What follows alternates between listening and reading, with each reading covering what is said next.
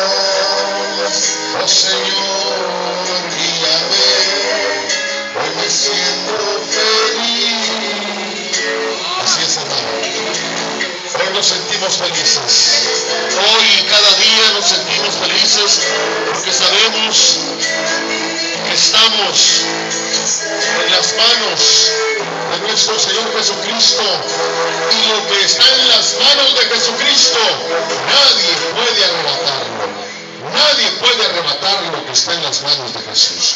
Un saludo a todas nuestras amistades que nos ven en las redes sociales.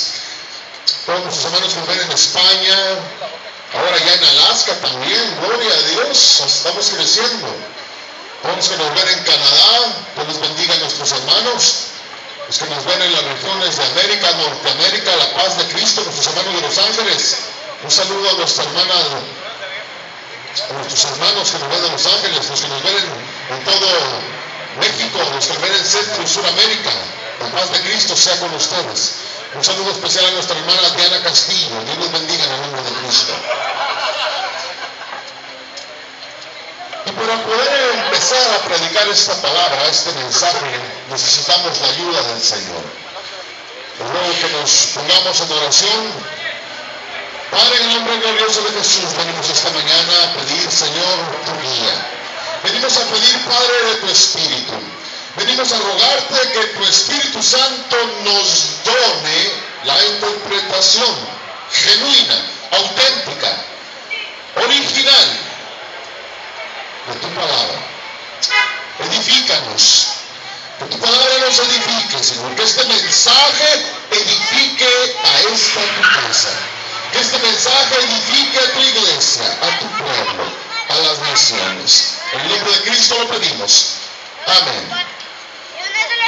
En estas últimas predicaciones hemos estado hablando acerca de Satanás. Algo que se ha olvidado en la iglesia moderna es nombrar el nombre de Satanás. Si no conocemos al enemigo, si no conocemos sus técnicas, sus tácticas, quedaremos en desventaja. Es importante entender que la palabra de Dios habla acerca de Satanás desde el principio. Desde el principio Satanás es mencionado en la escritura. Pero algo de lo que sucede más a menudo de lo que usted cree es que hay gente que en lugar de hablar directamente acerca de Jesucristo y directamente acerca de Satanás, están hablando acerca de la nada. Hay gente que habla de la nada. Y esto sucede muy a menudo.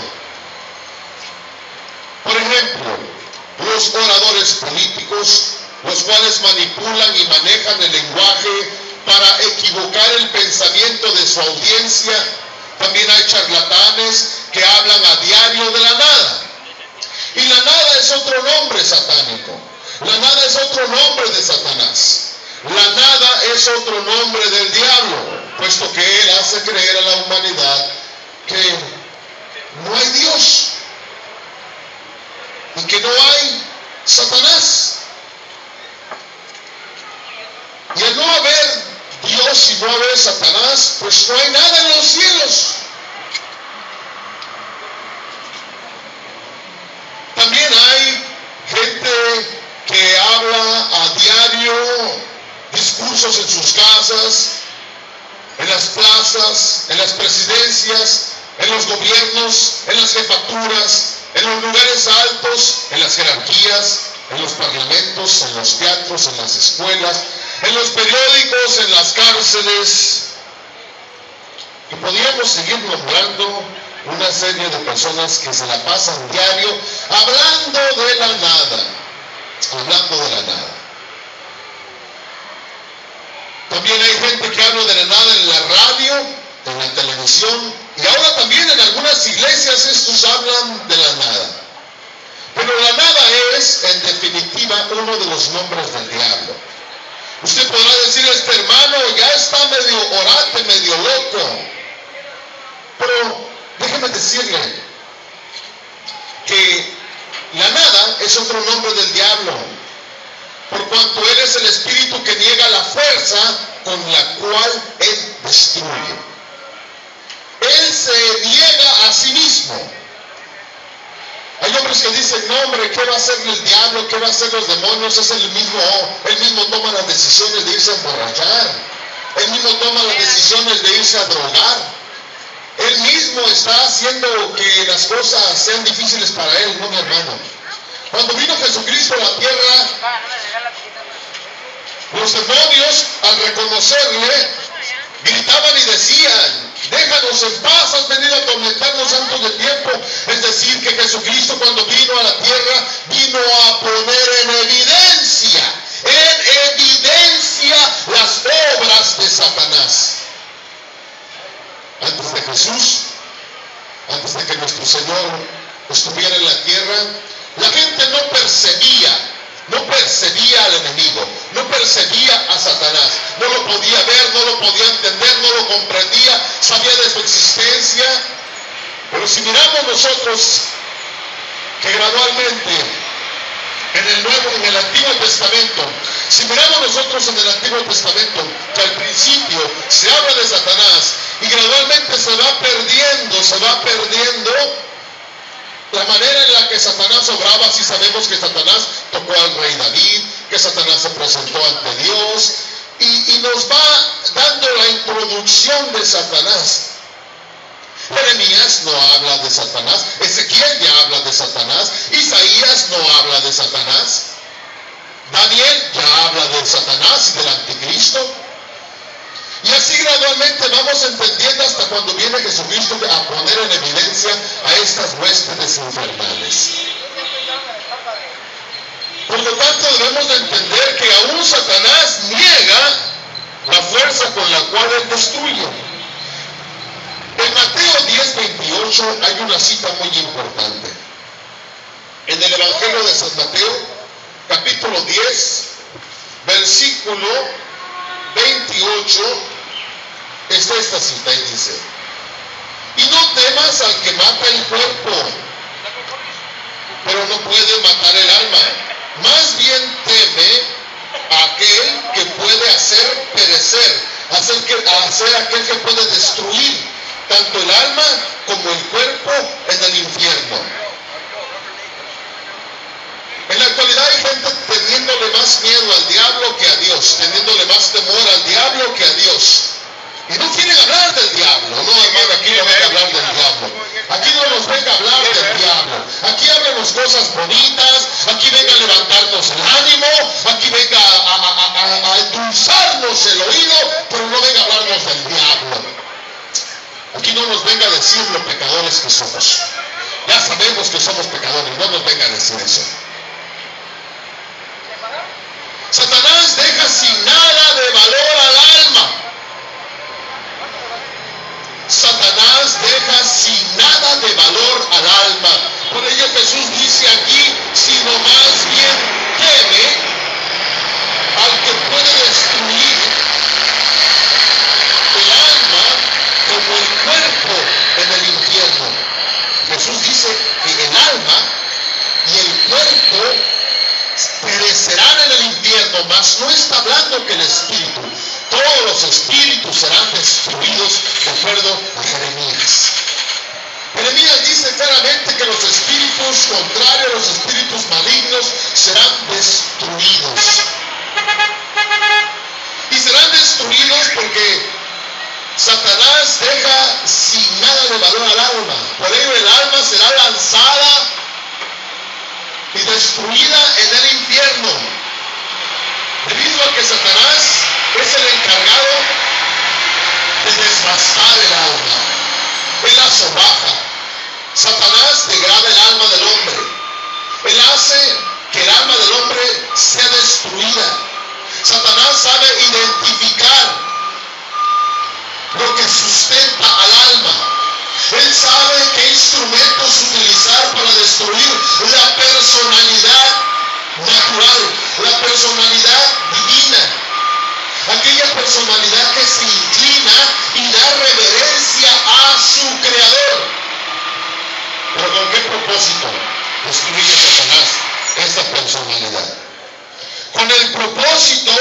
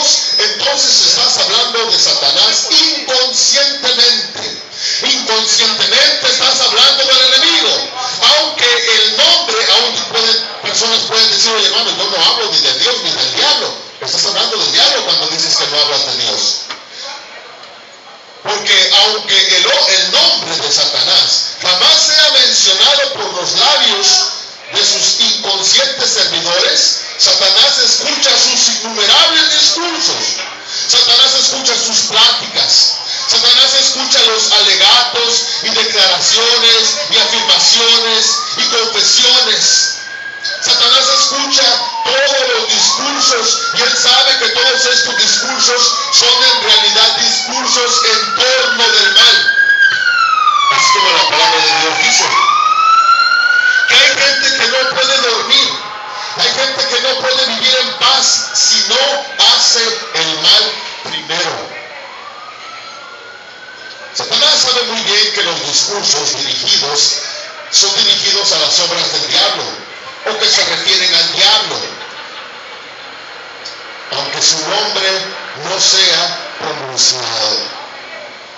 Si tú estás hablando de la nada, estás hablando de cosas inútiles, necias, de cosas necias, si tus prácticas son de cosas tercas, que usualmente no es, estás condenándote. La verdad, amado hermano, dice claramente la palabra de Dios que el camino de Dios es un camino muy estrecho y pocos entran por él. Es tan estrecho que podemos son los que pueden lograr entrar por él, a no ser que Jesucristo sea un mentiroso. A no ser que Jesucristo sea un Dios de exageración a no ser que Jesucristo sea un charlatán. Pocos son los que entran por ese camino.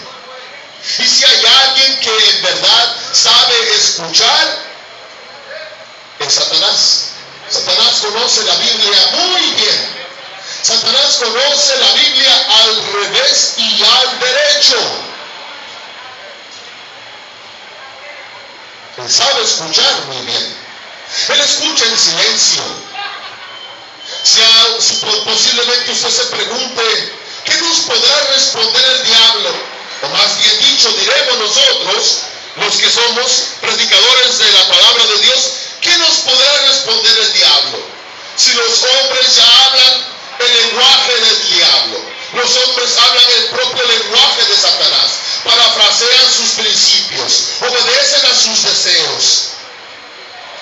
¿Cuántos hombres no obedecen a los deseos de Satanás? ¿Cuántos hombres no obedecemos a los deseos de Satanás? ¿Cuántos, son, ¿Cuántos de nosotros no obedecimos a los deseos de Satanás? Hermano, el ser santo no significa ser santurrón. El santurrón no entrará al reino del cielo. El santurrón es un hipócrita. Está estigmatizado, pragmatizado, contaminado por la hipocresía. El santo rojo entrará al reino de los cielos. El santo sí. El santo y el sabio entrarán al reino de los cielos.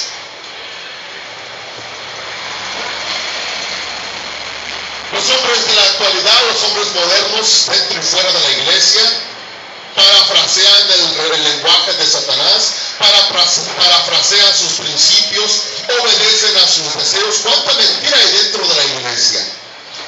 ¿Cuántos mentirosos hay dentro de la iglesia? Hermano, pocos son los escogidos. Debido a que no quieren estudiar, no quieren escuchar la verdad como el Señor dijo, mi pueblo perece por falta de sabiduría, por falta de estudio, por falta de entrega, por falta de convicción, por falta de valor. Claro está que por todo esto y mucho más, el diablo no tiene nada que decir. ¿Para qué va a hablar el diablo si ya la mayoría de la gente está practicando sus obras, está practicando su doctrina, está practicando su enseñanza. ¿Para qué va a hablar el diablo? Él no tiene nada que replicar.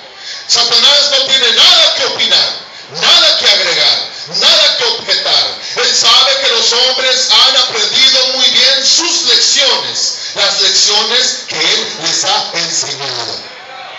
Hermano, ¿quién le enseñó usted a mentir? Usted dirá nadie. No, hermano. Satanás se encarga de enseñar a los hombres a mentir. Satanás se encarga a los hombres de enseñar hacer trampa, a ser mentirosos. Recuerde que su trabajo es robar, matar y destruir. Y eso es lo que él enseña. Esas son las enseñanzas de Satanás. Aunque muchos de nosotros no quieramos creerlo, no quieramos aceptarlo.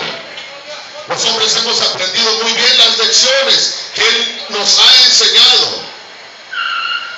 Satanás sabe muy bien que el mediocre se ocupa de él. Y solamente de él, aún sin nombrarlo. El diablo siempre está escuchando en silencio. Pero el mediocre se pregunta, ¿y por qué hay tanto silencio en el diablo? ¿Por qué hay tanto silencio de parte del diablo? Bueno, hermano, Satanás guarda silencio porque a él no, les, a él no le gusta turbar o perturbar la disciplina de sus aliados. Va a llegar el momento en el que los va a enfrentar. Va a llegar el momento en el que, que esa persona muera y que los demonios, tomen esa alma y la arrastren al infierno. Hermano, nos diría entonces la epístola del apóstol San Pedro en la primera de sus epístolas, en el capítulo 5, el cual dice, sean de espíritu sobrio, estén alertas, estén, sean vigilantes, vuestro adversario el diablo anda al acecho como león rugiente buscando a quien devorar. Oye, este Pedro, hombre, qué mentiroso. Este Pedro dijo esas palabras, hermano. Este Pedro es muy exagerado. ¿Cuál diablo si yo no lo veo? ¿Cuál diablo si aquí no hay diablo, hombre? Si aquí no existe Dios. ¿Cuál diablo? Sed espíritu sobrio. Está alerta, siempre está alerta. Todo el tiempo tenemos que estar alerta nosotros los verdaderos cristianos. Los tibios, esos no están alertas. Esos no, no encaran, no confrontan, no muestran, no conocen al diablo. No conocen al diablo. Solo conocen su nombre. Y prefieren no nombrarlo por temor, por miedo a levantarlo. hermano, el se ha levantado es Jesucristo. El no ha vencido es Jesucristo. Por ello Él dice,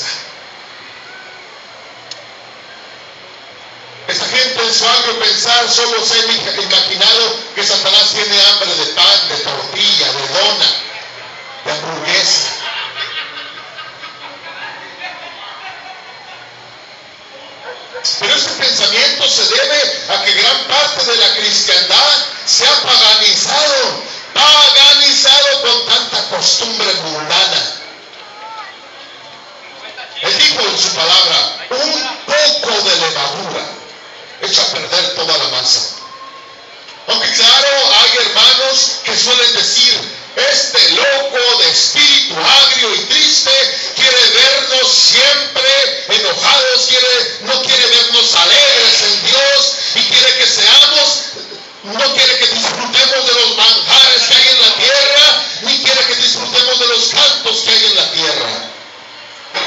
Él dijo, mi reino no es de este mundo. Y también dice, y el que ama al mundo,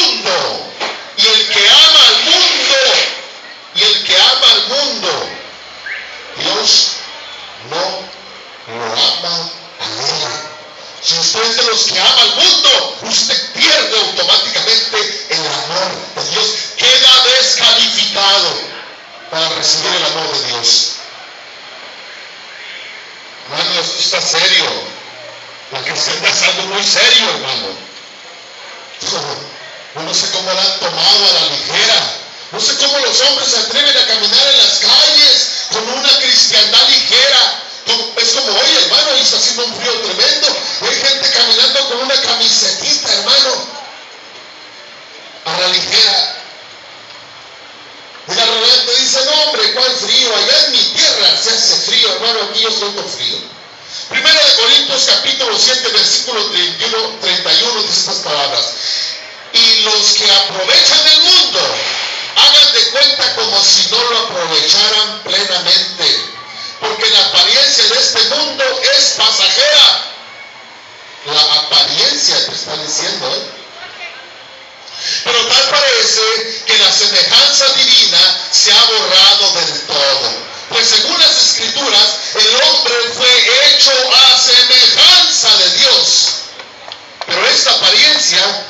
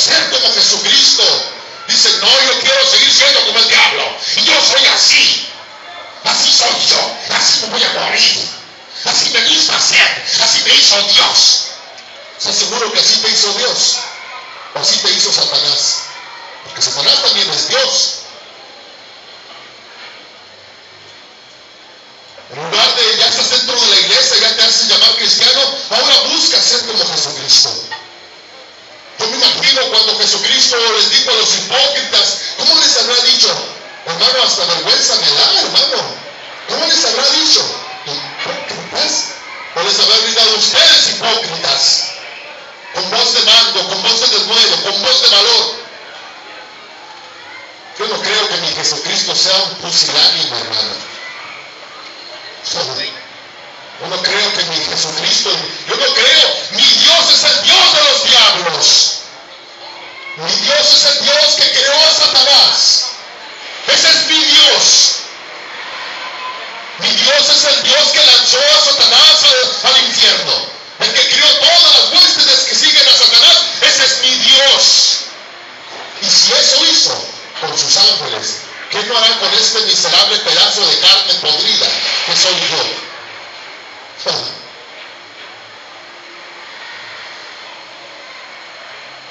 Debemos de desear asemejarnos a Jesucristo. Porque casi después de dos mil años somos aún más semejantes a Satanás que a Jesús. Jesucristo dijo, cosas más grandes harán ustedes. ¿En dónde están esas cosas grandes? ¿En dónde están esas cosas grandes? ¿O estamos tomando el nombre de Dios en vano? Oh, mi hermano, usted no sabe lo que significa tomar el nombre de Dios en vano. No sabe, amado hermano, que uno de los mandamientos dice, no tomarás el nombre de Dios en vano.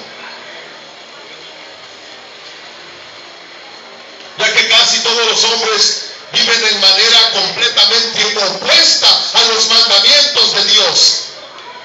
La mayoría de los hombres viven en manera completamente opuesta a los mandamientos de Dios y a las exhortaciones del Evangelio. Y a las exhortaciones del Evangelio. El Evangelio es una doctrina de exhortación, de reprensión,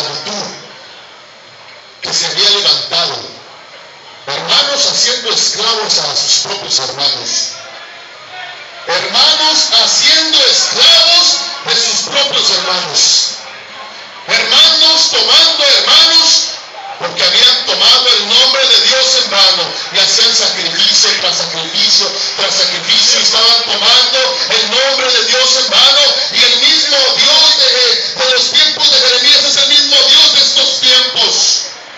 El segundo mandamiento dice, guardarás el día de reposo para santificarlo como el Señor tu Dios lo ha mandado. Seis días trabajarás y harás todo tu trabajo en seis días. Mas el séptimo día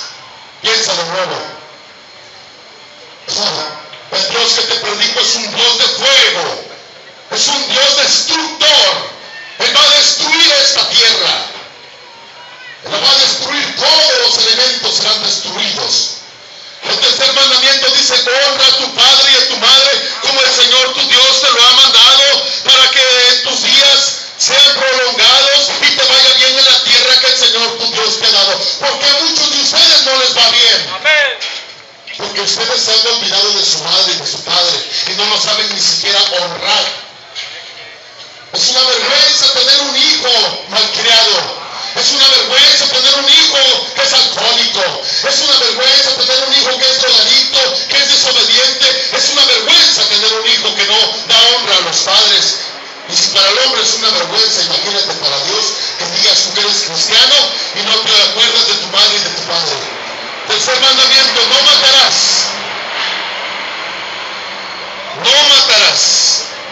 ¿Cuántos de nosotros no matamos las esperanzas de nuestras madres? Las esperanzas de nuestras esposas, las esperanzas de nuestros hijos. ¿Cuántos de nosotros no hemos matado debido a que Satanás ha despedazado nuestra alma?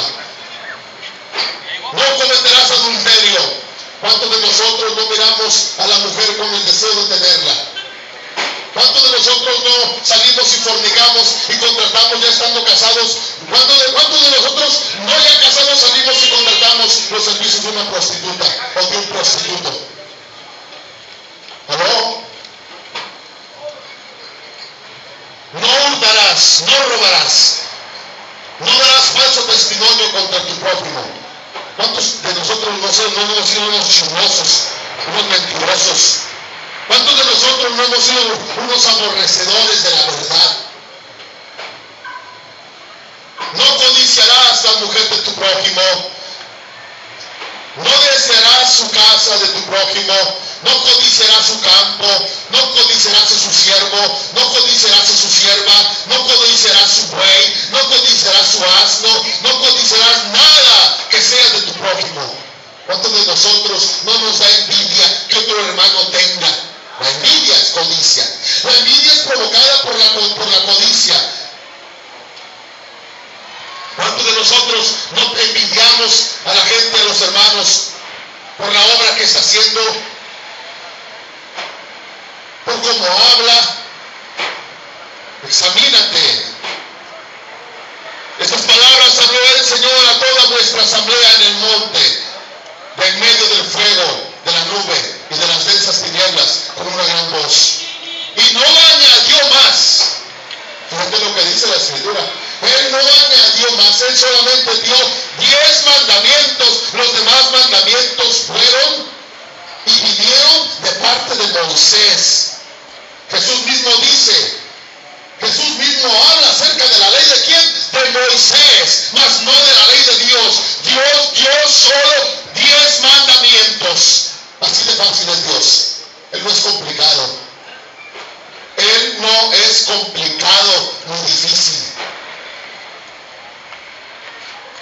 No añadió más. Y las escribió en las tablas de piedra. Pero hoy los cristianos modernos adoran más, o algunos menos, a Mamón. ¿Usted sabe quién es Mamón? ¿Usted sabe quién es Mamón, el Dios Mamón? Ahí tenemos a toda una casta de políticos amando al Dios Mamón. De religiosos amando al Dios Mamón, el Dios del dinero, ya sea disimuladamente o abiertamente. Estos blasfeman a menudo el nombre de Dios y toman el Dios, el nombre de Dios en vano. A menudo estos hombres toleran, amargan y mortifican a sus padres en vez de honrarlos. Estos hombres también a menudo matan en tiempo de paz y matan en tiempo de guerra a sus enemigos. Se apoderan por la fuerza o por el engaño de los bienes de ajenos, deseando la mujer y las cosas de otros. Oh, amado hermano. Dicen, dicen por ahí los dichos antiguos, Dios, Dios te agarre persinado, hijo. Dios, Dios te agarre persinado. Más bien dicho, Dios te encuentre santificado.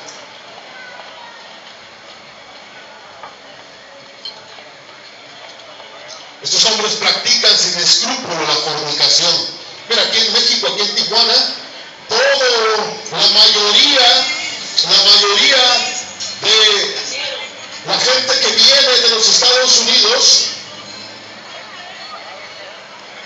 viene a adquirir los servicios de la prostitución. Estos hombres practican sin escrúpulo la fornicación y actos peores, mucho más peores que estos. Vienen a comprar niños, comprar niñas, viene una bola de homosexuales, un turismo, un turismo depravado que viene a México. ¿Quién está diciendo eso? ¿Quién le está advirtiendo eso al pueblo? ¿Sabías tú que Dios te va a juzgar y te va a decir, ¿y advertiste a ese pueblo? ¿O todo, solo te cerraste como la avestruz que metiste tu cabeza en el hoyo y dejaste todo tu cuerpo de fuera? ¿A quién vas a engañar que eres un árbol? Pero mira, aquí viene lo mejor, hermano. Si el diablo es el orgullo, o si el, si el diablo representa el orgullo, puesto que por ello, por no querer arrepentirse, no se arrepiente porque hay orgullo en su corazón, entonces la mayoría de los hombres somos todos más o menos diabólicos. Porque hay muchos hombres muy orgullosos, hermano. No, a ese yo ya no le hablo. Y si a ese le hablo, le hablo hipócritamente. Y si a ese le entrego mi amistad, le voy a entregar mi amistad hipócritamente. ¿Aló? Le voy a entregar mi amistad hipócritamente. Porque en tu corazón hay orgullo. Y no has entendido que eres, somos iguales eres igual que Satanás. Jesús enseñó que debemos llamar a los enemigos. Pero en cambio estamos, somos muy rápidos para odiar, somos muy rápidos para envidiar los unos a los otros. Somos muy rápidos para envidiar a nuestros amigos y a nuestros enemigos. En lugar de seguir lo que conocemos como la regla de oro, seguimos la regla contraria. Hacer con los hombres como quieras que los hombres hagan contigo. Pero estamos lejos de hacer eso, hermano. Muchos están lejos de hacer eso. Casi nunca nos damos cuenta y casi nunca hacemos o ejercitamos esta regla y no tratamos a los demás como quisiéramos que nos trataran a nosotros. Luego andamos ahí llorando y quejando porque este me trata mal. Mírate en el espejo. Mateo capítulo 7, versículo 12 dice esto. Por eso, todo cuanto queráis que os hagan los hombres, así también haced vosotros con ellos, porque esta es la ley y los profetas. Esta es la ley y los profetas. Uno de los pecados más satánicos es la soberbia, la presunción. Mucha gente no sabe qué es presunción. Presunción es la jactancia o la vanidad. Estos tres pecados son satánicos. La soberbia, la presunción y la perversidad. La presunción nosotros la vemos día a día. Aunque que pretenden explicarnos el universo en cuatro conceptos, o en cuatro palabras, o en cuatro fórmulas, ya sea por medio de las máquinas, o ya sea por medio de los atributos divinos. Hay hombres que siempre quieren impresionar a otros hombres, especialmente dentro de la iglesia, así como en el mundo. Mírame qué buenos tenis traigo en el mundo, mírame qué bien visto. Mírame qué bien me porto, qué, bien, qué buen carro tengo. Y dentro de la iglesia, lo mismo. Que se quieren impresionar entre ellos. Hombres, amado hermano, que quieren explicar el universo por medio de los atributos divinos. Hombres de escaso intelecto. Hombres de escaso intelecto y de espíritu mediocre. Espíritu incrédulo. Los cuales se arrojan el derecho de gobernar, de dominar y de guiar a las naciones como hoy tenemos. En México, el PRI quiere ser solo Él y Él nada más. El pan quiere ser y solo Él nada más. Y el PRD y solo Él nada más. Hombres que quieren gobernar y dominar a las naciones, a los pueblos, y los conducen con aguda arrogancia a la esclavitud y al exterminio. Hombres sin generosidad, ni afectos, ni profundidad de pensamiento, que adoptan la actitud de maestros de poesía. Se suben a hablar ahí en sus plataformas poesía. Se suben a hablar en sus plataformas a querer dar enseñanzas de filantropía.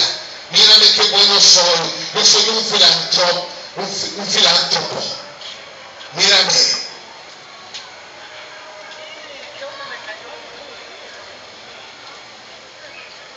Hombres que han adoptado actitudes contrarias. Hombres que, han- que quieren enseñarnos moral. Hombres que quieren practicar política.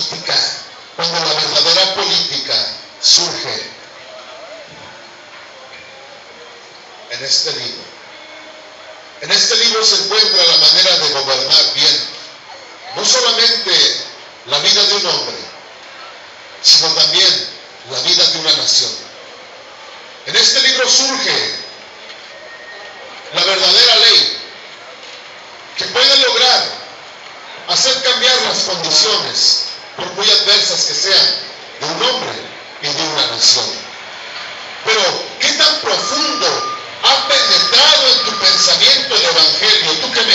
Tú que me escuchas, tú que me ves por medio de las redes sociales, ¿qué tan profundo ha penetrado el Evangelio en tu persona? Porque los rieles de la vida humana, por defecto de las desobediencias, fluctúan entre la locura y la delincuencia. Escuche bien, hermano. Voy a volver a repetir estas palabras. Los rieles de la vida, las vías de esta vida, por defecto de la obediencia, circulan entre la locura y la desobediencia. Aunque a veces la locura frena la delincuencia ya que lo más común es que la delincuencia esté al servicio de la locura, pues la locura apremia y justifica la delincuencia. Tremendo está esto. Tal vez usted no pueda entender esto porque, como lo dije anteriormente, aquí adentro está usted vacío. Y se lo voy a explicar bíblicamente. En Mateo capítulo 27, versículo 17, Poncio Pilato le preguntó a aquellos delincuentes que se hacían llamar sacerdotes. Aquellos delincuentes que se hacían llamar sumos sacerdotes. Caifás era el sumo sacerdote delincuente que contrató los servicios de otro delincuente sobornándolo para que le entregaran a Jesús. No, mi hermano, usted no sabe con quién estamos hablando. Usted no sabe el calibre del cual está hecho el Espíritu Santo. Ese Poncio Pilato, el que representaba la máxima autoridad, le preguntó a esa bola de locos, a esa bola de delincuentes, ¿a quién quieres que te suelte? ¿A quién quieren recibir? ¿A Barrabás o a Jesús llamado el Cristo? Esto está tremendo, ¿verdad? Precioso. ¿A quién quieres que te suelte? ¿A Barrabás o a Jesús? Ay, hermano, me gustaría decir aquí una palabra, pero por respeto, hermano. No, no, no por respeto, más bien me la voy a reservar. Pero cuánta incredulidad y cuánta mediocridad se manifiesta en esta escena. Cuánta incredulidad. La incredulidad y la mediocridad es la fiel protagonista de esta historia. Que aun cuando parezca inocente, la incredulidad y la mediocridad tolera y favorece por su debilidad a la locura y a la delincuencia. Pones atención. Cuando entra a la iglesia un mediocre o un incrédulo, aquellos locos, aquellos criminales, cuando reconocen rasgos de mediocridad en una persona o de incredulidad, en lugar de reprenderlo, se unen a él. A causa de la debilidad. Ya que la debilidad justifica la incredulidad y la mediocridad como algo inocente.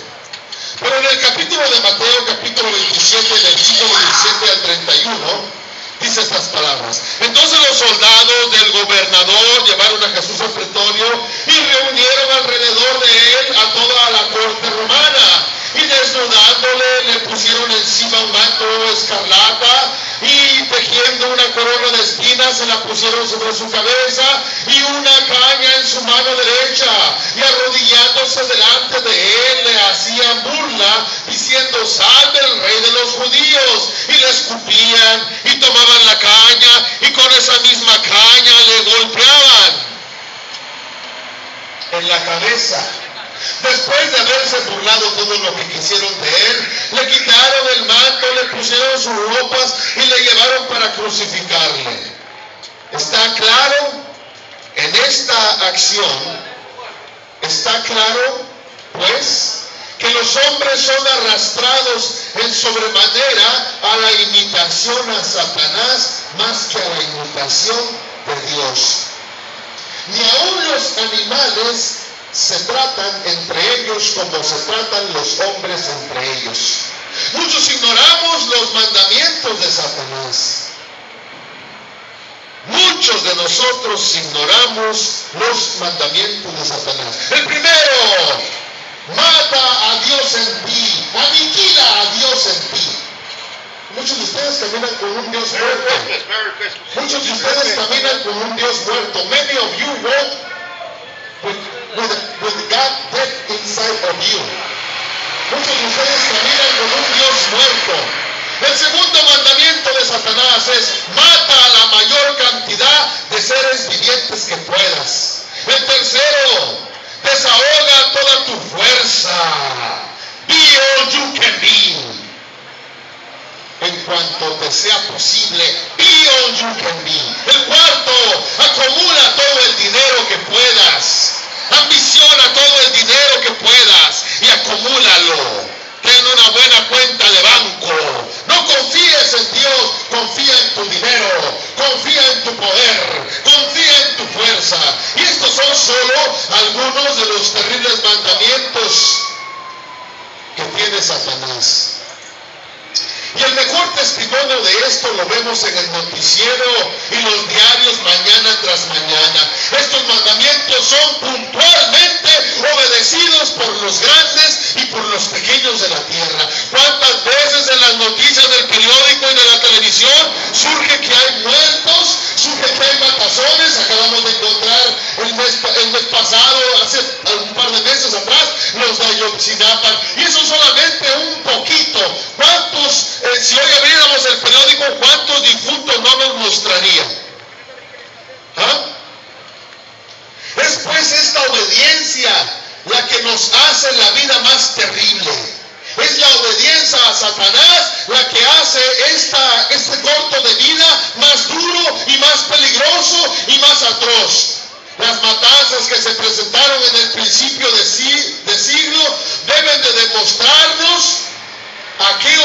Consecuencias nos conduce imitar a Satanás. Mateo capítulo 11, versículo 39 dice, toma mi yugo, tomad mi yugo sobre vosotros y aprendan de mí que soy manso y humilde de corazón. Y hallaréis descanso para vuestras almas, porque mi yugo es fácil y ligera mi carga. Pero sin duda, estas palabras no las hemos entendido. Sin duda, que hasta en el peor de los dementes queda un resto de razón. Y aún en el más peligroso de los delincuentes hay siempre un residuo de bondad y de razón. Pero los santos y los sabios en la actualidad somos raros y a menudo mal interpretados y más perseguidos que escuchados, más criticados que aceptados. Por ello es necesario separarse de Satanás. Mira hermano, cuando nuestro Señor Jesucristo estaba ahí crucificado, dos criminales también fueron crucificados. Y dos, dice, en una parte de la escritura dice que esos criminales le insultaban, le, le, le le ofendían. Pero luego hubo un poco de razón en el otro y dijo, oye, cálmate, cálmate, ya no lo insultemos, en verdad este es un santo, en verdad este no debería de morir así. En ese hombre hubo un poco de razón, un residuo de bondad surgió en su corazón y de arrepentimiento. Por ello el Señor le dijo, tú estarás conmigo, de cierto te digo que estarás conmigo en el paraíso. Nos es necesario separarnos de Satanás. Nos es necesario destruir y borrar toda semejanza que tengamos con Satanás. Y no debemos de tardar en hacer esto. No debemos de tardarnos en hacer esto. Sin tardanza debemos de rebelarnos contra el diablo y entender que siempre hay sabios Siempre Dios ha levantado sabios, porque siempre hay adversarios del enemigo, los cuales son los santos y los sabios, aunque sean contadísimos los que estén dispuestos a seguirlos. Oye, hermano, hoy en la actualidad hay más orates y hay más criminales siguiendo a criminales y a orates. Pastores orates ahí, locos, criminales que aceptan dinero del crimen organizado. Ya levantan sus iglesias con el dinero del crimen organizado. ¿Para qué puede servir el dinero mal habido? ¿Para qué puede servir ese dinero mal habido? ¿Usted cree que va usted a poder lavarlo? Como hay tanta lavandería aquí en Tijuana. ¿Cuánta lavandería de dinero, hermano? Nada tan precioso como el, salario que se gana con el sudor de la frente.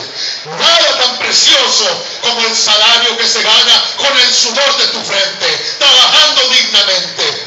Por ello Dios prospera al hombre y lo levanta y lo honra. Y esa es la honra que busco, no la de los hombres. Su honra es poca, hermano, y pronto va a morirse. Pero la honra de Dios es mucha y eterna.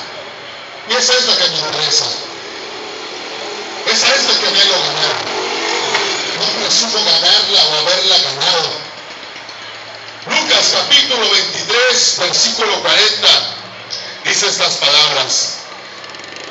Pero el otro le contestó y reprendiéndole al otro criminal le dijo, ni siquiera temes a Dios a pesar de que estás bajo la misma condena.